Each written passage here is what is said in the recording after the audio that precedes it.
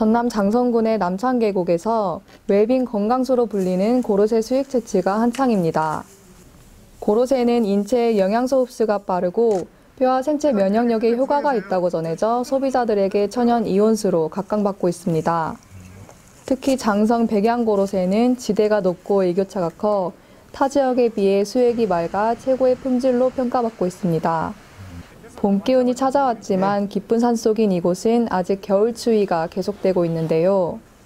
마을 주민들은 수액을 받기 위해 높고 거친 산속에서 고로쇠 나무를 찾아 수액 채취 작업에 분주합니다. 고로쇠 수액 채취에 앞서 나무에 채취용 드릴로 구멍을 뚫는 천공이라는 작업을 한 뒤 이곳에 호수를 꽂아 수액을 뽑습니다. 고로쇠 나무에 연결된 호수는 또 다른 긴 관을 통해 산 아래에 있는 저장 탱크에 모아지는데요. 기존 수액 채취 방식인 비니가 물통에 직접 담아 옮기는 방식보다 시간이 절약되므로 수액의 맛과 신선도가 뛰어납니다. 작업해가지고 물을 펌핑 저 군역을 뚫으면 바로 그날 저 집수통에 떨어집니다.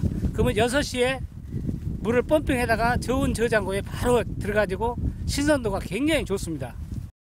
수액 채취 작업이 끝나면 생산 공장으로 옮겨져 특별한 가공 없이 수액 100%를 그대로 담아 전국 각지에 판매합니다.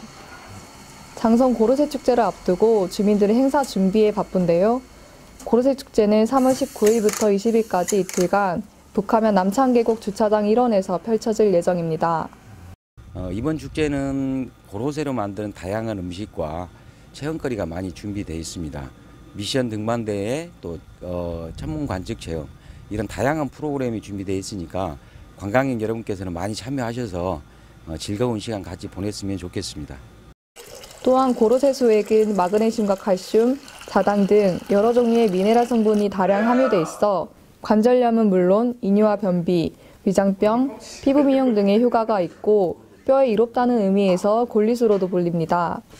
올 봄은 웰빙 건강수 고로쇠 수익으로 가족과 지인들의 건강을 챙기는 건 어떨까요? 광주메일 TV 임두솔입니다.